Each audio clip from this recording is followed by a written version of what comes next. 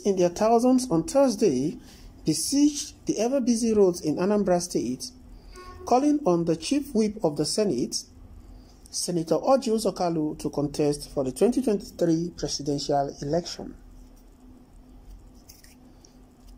Kalu, who was billed to deliver a keynote address at an entrepreneurship youth program held in the state, was received with chants of solidarity by the youth. The entrepreneurship program tagged Access More with Stanley was organized by Anambra-born business mogul Dr. Stanley Uzochukwu in collaboration with Access Bank, Anambra State Government, Opay, Bond Hotel, and other top-rated business entities. Displaying their various colorful placards and banners with inscriptions such as Orji Uzor Kalu for Presidency 2023. The youths in their thousands trooped to the major road on sighting Senator Kalu's convoy. The development prompted the chief whip or the chief whip's convoy to slow down for Kalu to acknowledge the greetings and cheers of the visibly excited groups. Recall that earlier same day, the governor of Anambra State, Willie Obiano, received Kalu in the Anambra State Government House, Awka. Obiano, who was represented by the Deputy Governor, Dr. Nkem Okeke, received Kalu and his entourage at 1.10 p.m. and proceeded for a private meeting. In an exclusive chat with one of the youth leaders, Okezie Ibezim, on the motive behind a rousing welcome, said the Southeast Zone are with the interest of becoming equal among other regions of Nigeria in the leadership of the nation. Ibezim's, in Ibezim's words, the relative peace of the nation can be achieved if all stakeholders of the united Nigeria are carried along. Given equal opportunity and 2023 is actually the time to include the Southeast into the leadership of Nigeria.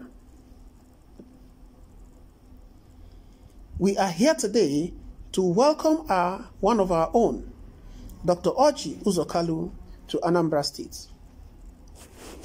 The youth you see gathered today had prayed for a time like this, an opportunity to tell Dr. Orji Uzor Kalu our views on the presidency in 2023. We want him to run for the presidency in 2023, for it is our right, going by the rotation seen so far since 1999. We are happy he's here today. You can see that from the crowd here, you can see that from the crowd that are here to welcome him. Speaking further on the agitation and unrest by some of the Southeast indigents to secede, Okezie said those motives were driven by the way the zone had been marginalized.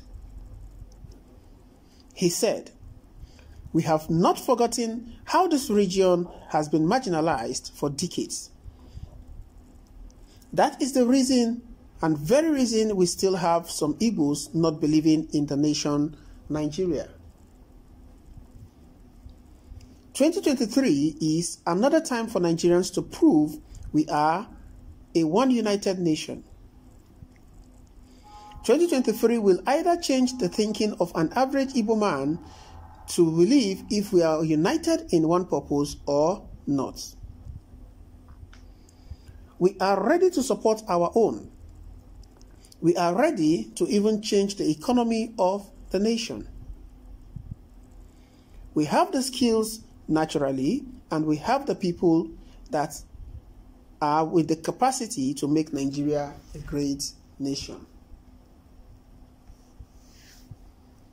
Dr. Orji Uzor Kalu is one of those persons from this region that we know and believe can take on this task.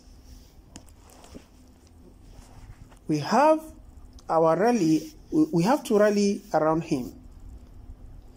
Okezie stressed the need of other regions to throw their weight behind the Igbo presidency vision for 2023, just as they have supported other regions, be it in the PDP or the APC.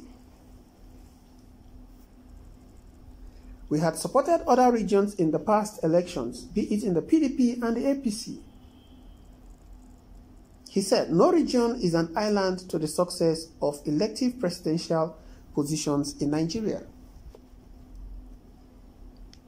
Anambra is All Progressive Grand Alliance is an APGA state. But you, can, you can't say the state had no single votes in respect to elected presidents from other political parties that had mounted the presidential seat. I see no reason why other regions should turn their back on the southeast, for no one knows where the Messiah would come from. The lecture was delivered by Senator Kalu at the Stanley, Dome, the venue of the event. The event also had in attendance Deputy Governor of Anambra State, Dr. Nkem Okeke, former Senate President and Secretary to the Government of the Federation, Anyim Pius Anyim, founder and President and Chairman, Coscharis Group, Dr. Cosmas Maduka, former Governor of the Central Bank of Nigeria, Professor Charles Soludo, the CEO of Air Peace Airlines, Allen Onyema, founder, Center for Value in Leadership, Professor Pat Utomi, Honorable Chris Azubogu, Speaker, Anambra State House of Rep Assembly, Right Honorable Victor Uche Okafor, Honorable Edozie Madu, and traditional rulers, among others. All right, guys, what are your thoughts concerning this particular news story as it were?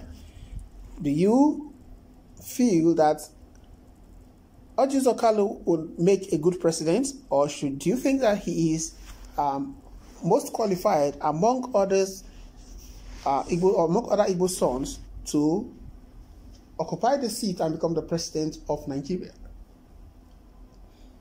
Well, it remains to be seen. 2023 is not far away. We keep our fingers crossed to see how things unfold on this particular issue.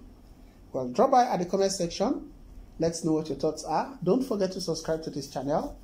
Kindly hit the bell icon so you can get notification whenever we post new stories. Endeavor to share these news stories with your friends, family, relations, and loved ones so they can get to know what is happening around the world and be informed.